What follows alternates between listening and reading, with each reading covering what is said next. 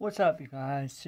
This is Tim Traver, the managing editor of the Diecast Collective. Today we're coming in, we're just doing a theme day. It's one uh, Cadillac and the other is Alfa Romeo.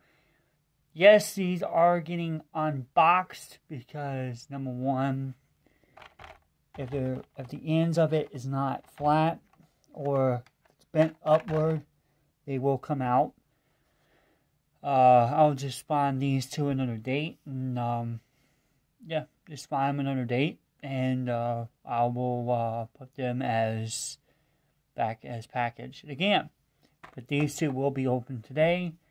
That's why I took a photo of it later. If you go on YouTube.com or YouTube.com forward slash D Diecast Collective, I will do a uh, comparison as well. Um, but you also can go check us out on the uh, Facebook side as well. I will post that up as well as boxed and being open.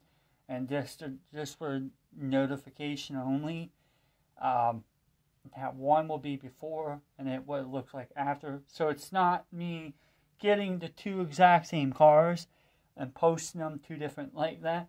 That's not what i'm doing. I'm just showing you what it looks like boxed and then unpackaged.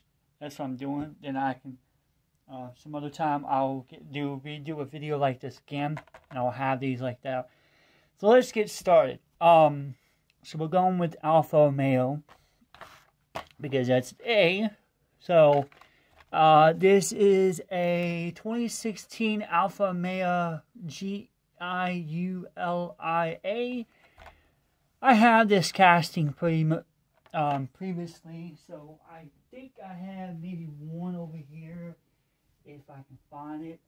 I don't think I do. Um, I may or may not. I don't remember.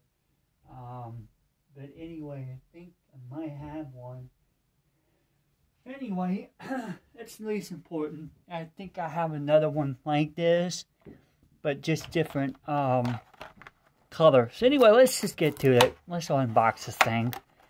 Um, I think I have one blue and red or something. I'll I'll find them and I'll post them up. It's a cool looking car. Again, like I told y'all before, I do like the die. I like the um, castings on these, and yes, I do like how they got the light and everything on them. The little trim package. So that's one. Here comes the Cadillac. And that's why I like about uh, because they do detail their work, unlike Hot Wheels, not taking a crack at them, not taking shots at them, but um, that's what they are. And that's the way they are. That's sometimes what they want you to do. Um, anyway, let me see what year this is. 2021 uh, Cadillac CT5 CT5V. There you go, everyone. There you have it. Anyway, those are the two cars for the theme of the day. That's all I got time for y'all for right now. Until next time, this is Tim Traver, the managing editor of the Diecast Collective. You have yourself a fantastic day. We're out.